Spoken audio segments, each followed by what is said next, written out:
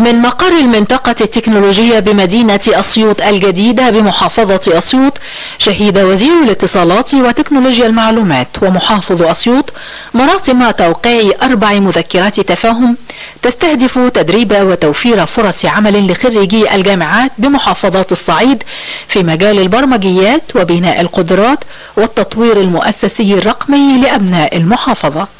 مستمرون في جذب المزيد والمزيد من شباب أسيوط لمختلف المبادرات التدريبية لإلحاقهم بسوق العمل خلال الفعاليات اليوم وقعنا اتفاقي اتفاقيتين مع شركتين من كبريات الشركات العاملة في مجال التعهيد تحديدا في مجال البرامج المدمجة لخلق أكثر من 700 فرصة عمل خلال ال 18 شهر القادمة في اسيوط نصدر من خلالها خدمات رقمية إلى مختلف دول العالم. وبحسب محافظ أسيوط فإن المحافظة شهدت نقلة نوعية كبيرة في مختلف القطاعات ومنها الاتصالات وتكنولوجيا المعلومات في الإنترنت والمبادرات الرقمية لدعم الشباب فضلا عن تأهيلهم لخلق فرص ليلحقوا بسوق العمل المحلي والدولي.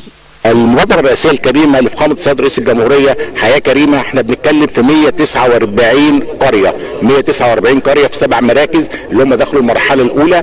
آخر حاجة آخر حاجة بتتحط في القرى هي الكوابل الألياف الخاصة بالنت والإنترنت. هناك أكثر من 50 قرية دخل فيها هذه الخدمة وما زال بيحصل تتابع في هذه الخدمة اللي هي خدمه النت الفائق السرعة.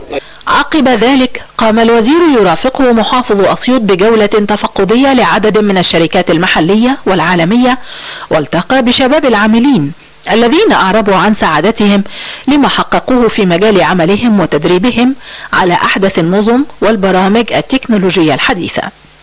هو إن إحنا دلوقتي بقينا مجرد يعني مش مجرد إن شغل بنروح ونرجع لأ بيبقى في opportunity إن إحنا نتعلم حتى بيبقى في support إن إحنا ناخد masters بيبقى في support إن إحنا لو أي كورسات جديدة فتحت مثلا بتقدمها وزارة الاتصالات ناخدها فكل ده يعني غير الشغل. مجال ال software ممكن يلاقي فرص أسهل بإن هو يبذل مجهود أكتر ويتعلم أكتر فيقدر يلاقي فرص أسهل في مجال القطاع الخاص يعني.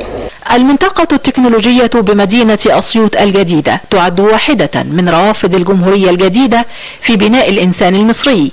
فضلا عن جذب وضخ استثمارات عالمية جديدة في قطاع الاتصالات وتكنولوجيا المعلومات بالسوق المصري. لتوفير فرص عمل للشباب على الصعيدين الداخلي والخارجي.